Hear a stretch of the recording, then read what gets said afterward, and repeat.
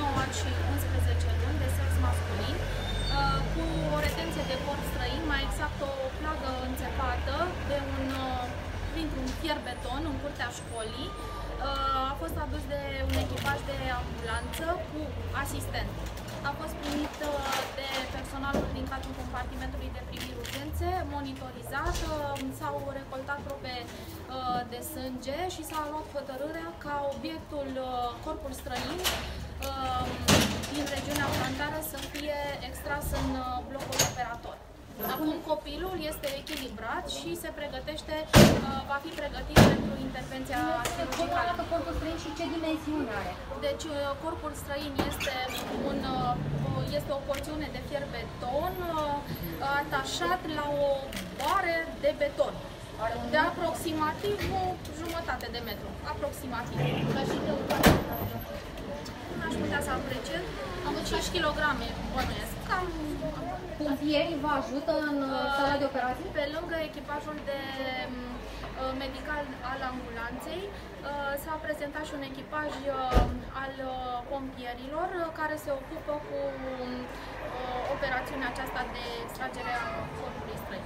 Vor intra și ei în, în sala de operații, da. doctor? Da. Deci intră da. și pompierii în sala da. de operații. Sus vor lua o hotărâre exact cum se va desfășura. Inițial, uh, intenția a fost uh, ca acest uh, corp străin să fie uh, tăiat în uh, urgență, dar au hotărât că această operațiune se va desfășura în uh, bloc operator. Concret cum ai prin talpă? Prin talpă, da, în regiunea plantară și a ieșit pe fața de dorsală a piciorului. Este străpulsă, da. Mulțumim mult! E bine? Da.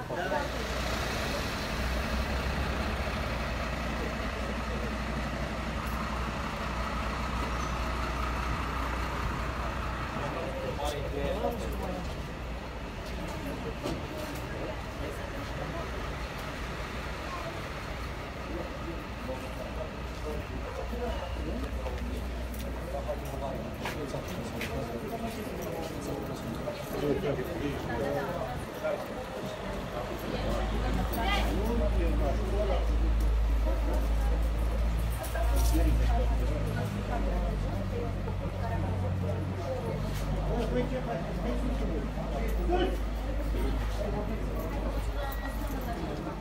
i-ați făcut copilului? Ați stat lângă el, Am stat lângă el, am vorbit cu el, am chemat toate cadrele, doamna director, am sunat la salvare, l-am liniștit, au venit părinții și sunt aici. Plângea?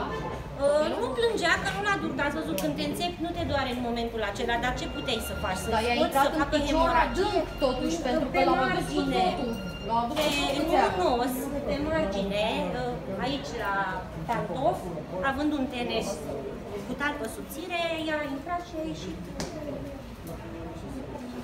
prin șosă. Cum vorbiți? Toma, Monica Mihaela. Toma Monica?